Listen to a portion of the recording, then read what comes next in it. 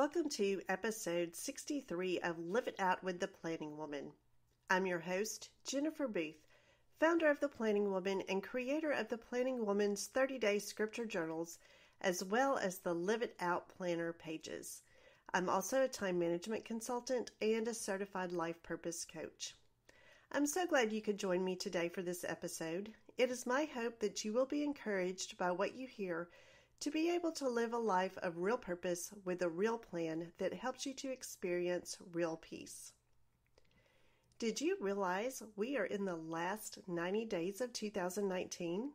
And not only that, we are closing up the last year of a decade. What? I'm not even sure where the last 10 years went. Are you? About this time last year, I released an episode about how it's not too late to set goals during this time of year.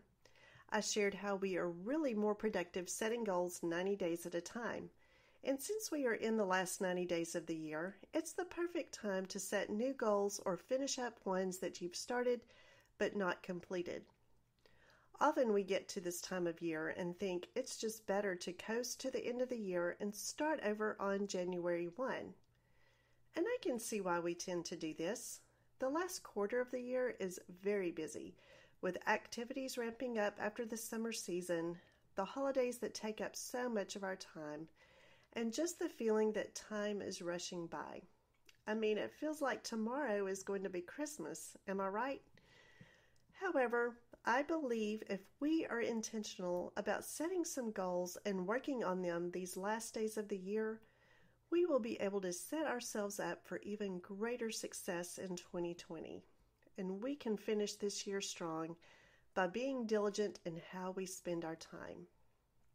Now, I'm not talking about setting 10 new goals and working night and day to accomplish them. No, it's more about assessing where we are right now and where we want to be by the end of the year.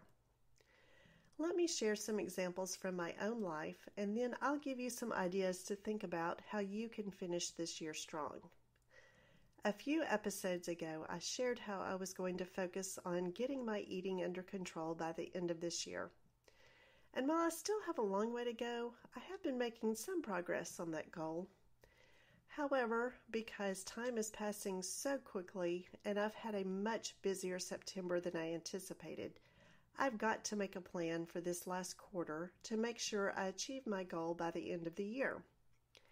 And in regards to the planning woman, well, I always make plans for each quarter that include work I want to accomplish that's done on a weekly basis and also includes goals I have for different projects that I'd like to get completed in that quarter. Right now, I'm working on a new product and service that I'm going to be rolling out next week and I'll share more about that at the end of this podcast. So, getting this product and service launched, along with keeping up with my weekly work, well, I've got my hands full for this quarter. So, how am I going to go about achieving these goals in the last 90 days of the year? Let me walk you through my process, and hopefully, you'll pick up some ideas that will help you make progress on your goals before the end of the year. First, decide what goal, if you were to achieve it by the end of the year, would make the biggest difference in your life. For me, on a personal level, it is getting my eating under control. Yes, I could focus on exercising, and I will be trying to exercise more, but focusing just on my eating will bring the biggest difference in my life.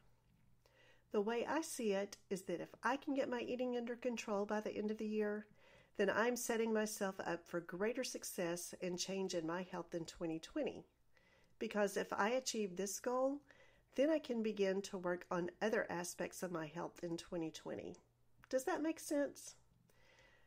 For the planning woman, my focus on launching this new product and service will allow me to expand my business in 2020 it's giving me a new avenue in my business to pursue, as well as giving me a way to tie together all of the aspects I want to cover on the Planning Woman.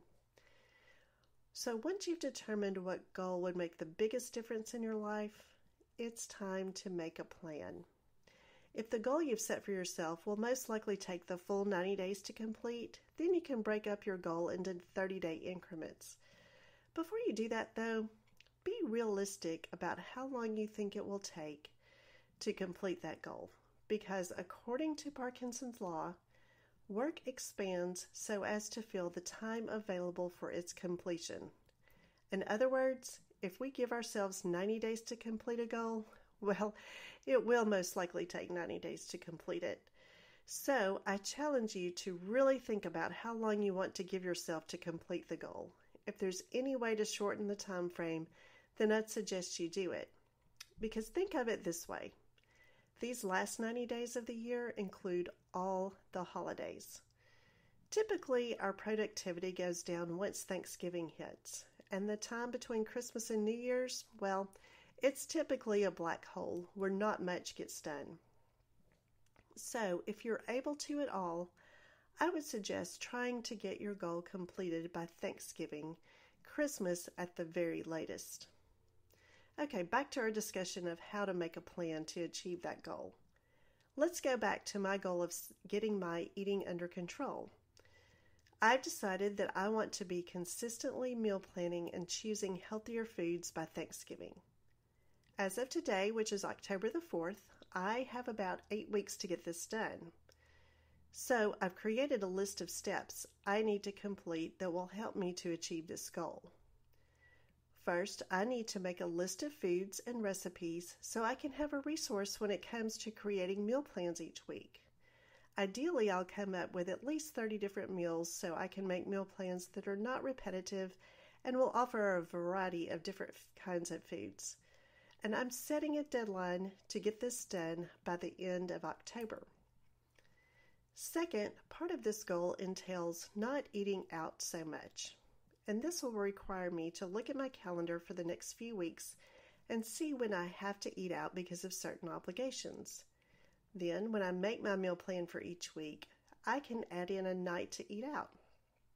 Making it a part of my meal plan should be helpful in cutting down on the number of times that I eat out each month. And third, I need to track the habit of meal planning in my habit tracker.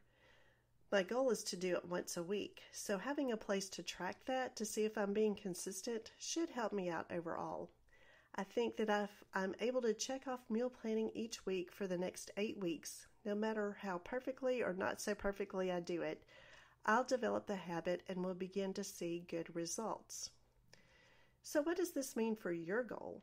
Well, you need to figure out what steps you need to take to complete your goal. Then you need to set deadlines for each of those steps.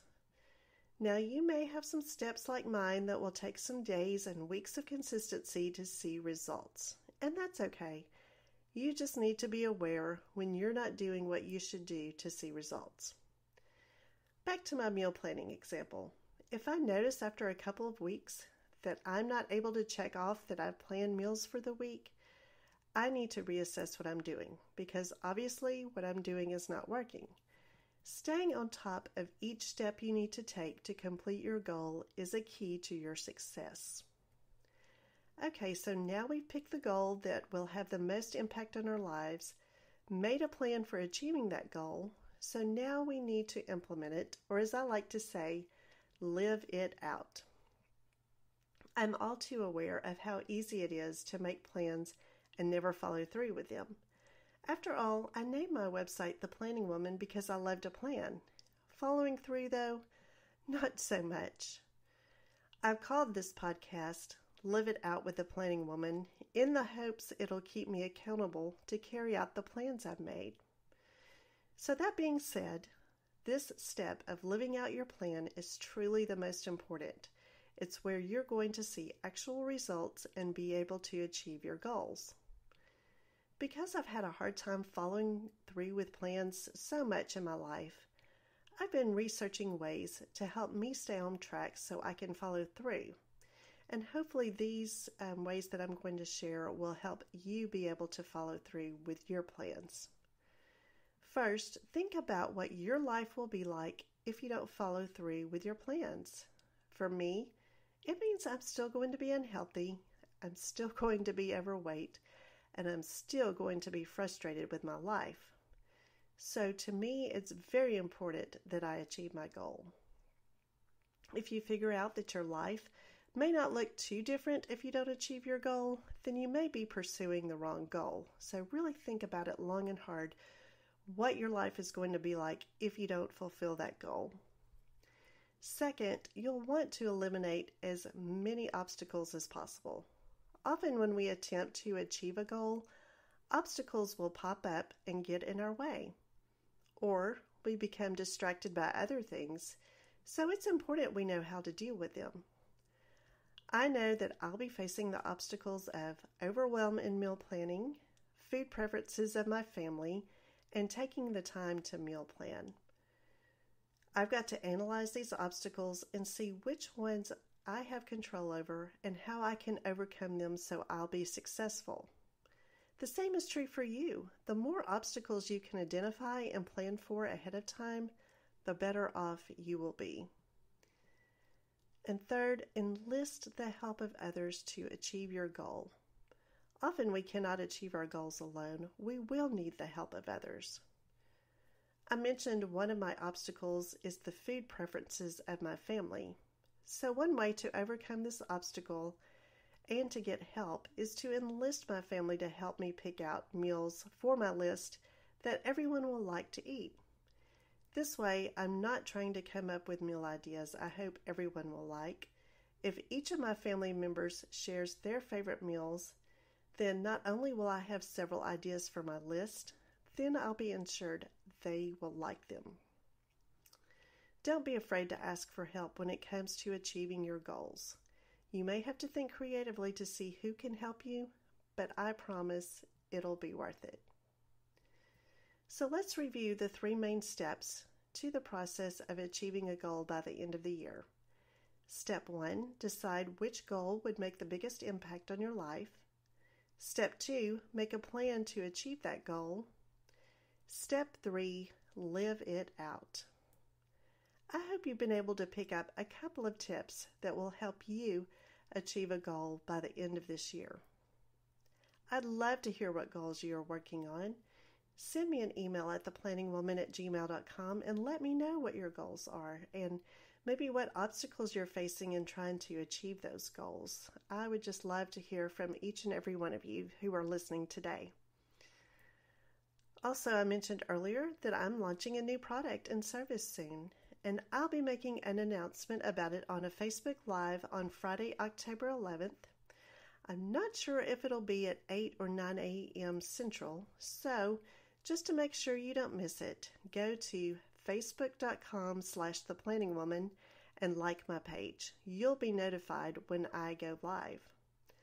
I'm not going into detail on this episode about this product and service, but I will share that it is something where I can work with you one on one, both in person if you're local to me or virtually if you live out of my area. Next week's podcast will be all about this new product and service, so I hope you'll tune in then. And as always, you can connect with me online on Facebook at facebook.com slash the planning woman or on Instagram at instagram.com slash the planning woman. I'd love to see you in either one of these places. Strike up a conversation, send me a message. Let's chat about planning, goals, whatever you want to talk to related to the planning woman. I would love to visit with you about. So until next time, I hope you have a great week.